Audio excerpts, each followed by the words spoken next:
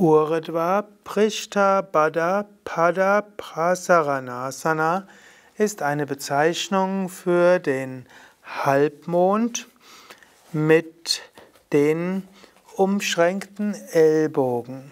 Ausgangsposition ist der Sprinter. Von hier gibst du die Arme nach oben und fasst mit den Händen um die Ellbogen.